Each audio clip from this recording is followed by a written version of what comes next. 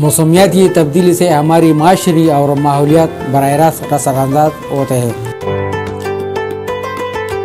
درخت لگانے اور ماحول کو صاف کرنے کی سمیت ترقیاتی دنیا اپنی ذمہ داریاں نبھائے۔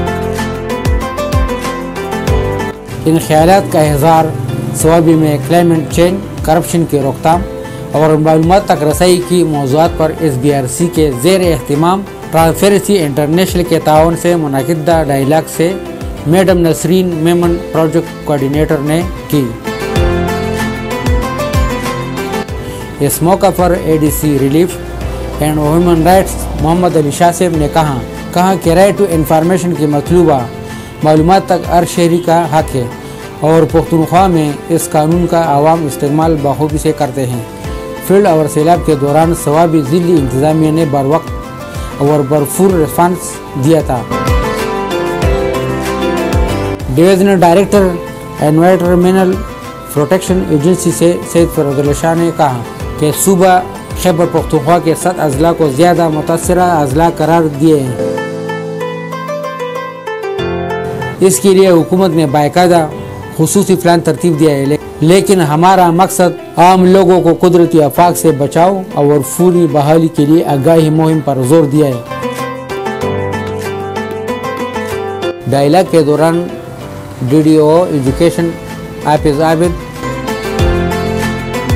سابق bureaucrat Javed Azam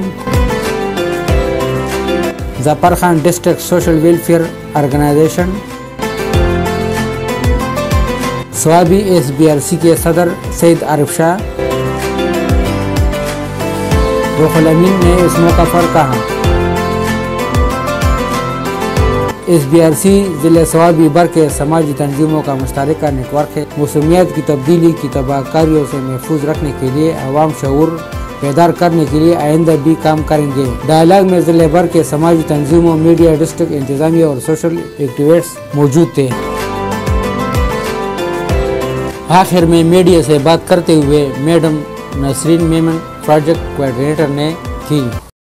میں ٹرانسپیرنسی انٹرنیشنل پاکستان میں جو کام کر رہی ہوں آج ہم ثوابی میں ہم نے ایک کمیونٹی ڈائلاگ رکھا ہے، جو ایس پی آر سی کے تعاون سے ہمیں یہ یہاں پر آرگنائز کیا گیا ہے۔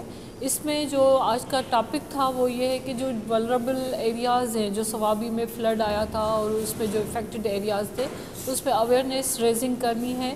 کرنی تھی کہ جو جو کلائمیٹ پالیسی بنی ہے اس پر کمیونٹی کی شمولیت جو ہے وہ لازمی ہے۔